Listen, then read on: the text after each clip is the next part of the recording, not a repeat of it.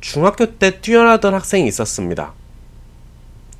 근데 고등학교 돼서 성적이 떨어지거나 아니면 평범한 수준에 그치는 학생들이 많습니다. 즉, 중학교 때도 잘했고, 고등학교 때도 열심히 하는데, 고등학교 때는 유독 성적이 오르지 않는 경우가 있습니다. 이 학생의 특징들이 하나 있는데요. 바로 언어 능력이 부재한 경우입니다.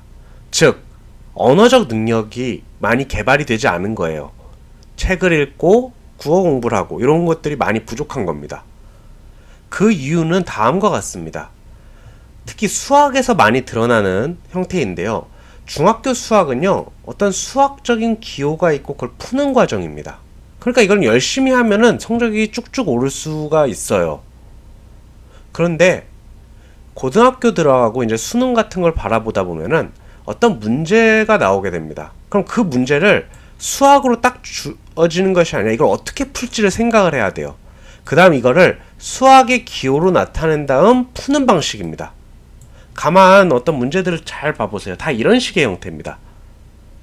그리고 어떤 개념이나 이런 것들이 그냥 바로 1대1로 나오는 것이 아니라 뭔가 생각을 하게 되고 이 세상에 어떤 법칙을 따르게 되고 이런 것들이 많습니다. 뭔가 논리적으로 생각을 해야 되고 이런 것이 많이 안 되는 겁니다. 즉 요거 부분만 잘 되다 보니까 이게 넘어오지를 못하는 거예요. 그래서 한번 이런 학생들의 특징을 한번 봐보세요.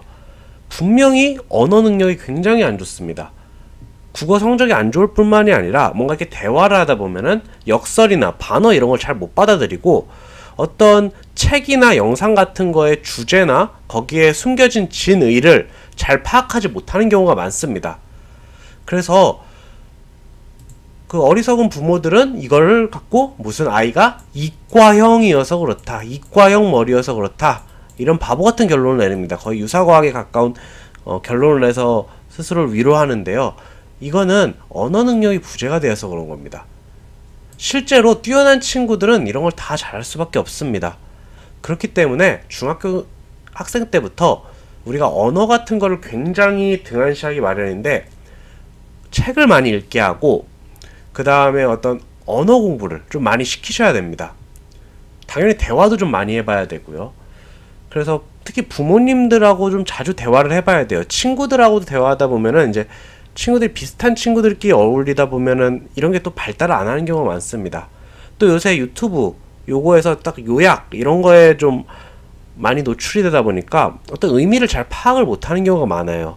그렇기 때문에 꼭 그 수학 과목이라도 높은 성적을 받게 하려면은 반드시 언어 공부를 해주셔야 됩니다.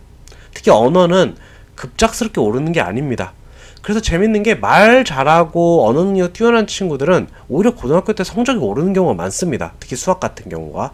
그래서 이 언어적인 능력을 꼭 좀 중요시 하셨으면 좋겠습니다. 학생들이라면 이걸 중요시하고 부모님이라면 아이들에게 이 능력을 강조하시고 교육시키시길 바랍니다.